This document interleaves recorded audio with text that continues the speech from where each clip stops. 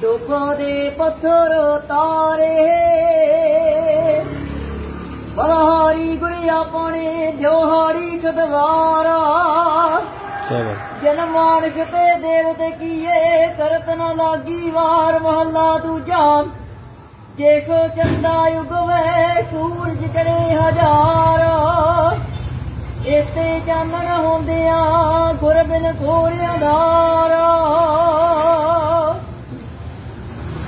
ਅਗਣੇ ਦੀ ਧਰਤੀ ਨੂੰ ਜਿਸਨੇ ਭਾਗ ਆਣ ਕੇ ਲਾਇਆ, ਇਹ ਰੂਪ ਅੱਲਾ ਦਾ ਪੜ ਕੇ ਭੀਖ ਮਸ਼ਾ ਫਰਮਾਇਆ।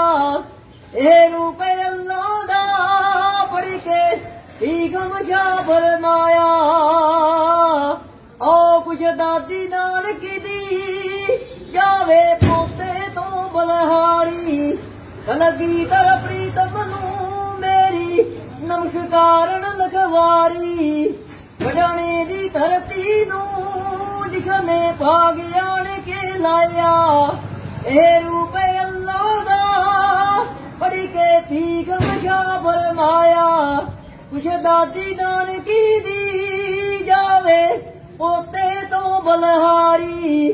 ਗਲਗੀ ਕਰ ਪ੍ਰੀਤਮ ਨੂੰ ਮੇਰੀ ਨਮਸਕਾਰਨ ਲਗਵਾਰੀ ਪਟਾਣੇ ਤੋਂ ਨੰਦ ਪਰਨੂੰ ਤੇਰੇ ਹੁਕਮ ਪਿਤਾ ਦਾ ਪਾ ਕੇ ਲੱਖਾਂ ਨੂੰ ਦਰਸ਼ਨ ਦੇ ਮਰਮਾ ਦਿਓ ਬੇਟੇ ਲਾ ਕੇ। ਫਿਰ ਛੱਡ ਪੰਜਾਬ ਕੁਰੇ ਕੁਰਾਨ ਉਜਾੜਨ ਨੂੰ ਬੰਦਾ ਫੇਤਾ ਕਰਕੇ ਚਾਰੀ। ਗਲਗੀ ਦਰ ਪ੍ਰੀਤਮ ਨੂੰ ਮੇਰੀ ਨਮਸਕਾਰਨ ਲਗਵਾਰੀ ਓ ਕਸ਼ਮੀਰੀ ਜੋ ਪੜਤਾ ਨੇ ਆ ਕੇ ਜਾ ਕਰੀਆਂ ਅਰਦਾਸਾਂ। ਆਤ ਚ ਬਲੀ ਡਾਬਰ ਦੇ, ਕਰਦੀ ਖੂਦ ਆਉਂਦੀਆਂ ਭੂਮੀਆਂ ਰਾਸ਼ਾਂ। ਜਾ ਧਰਮ ਤੇ ਮਗਰਾਂ ਨੂੰ ਬੰਦੇ ਤਾਰੇ ਪੇਟ ਰਕਾਰੀ। ਦਰ ਪ੍ਰੀਤਮ ਨੂੰ ਮੇਰੀ ਨਮਸਕਾਰ ਲਖਵਾਰੀ।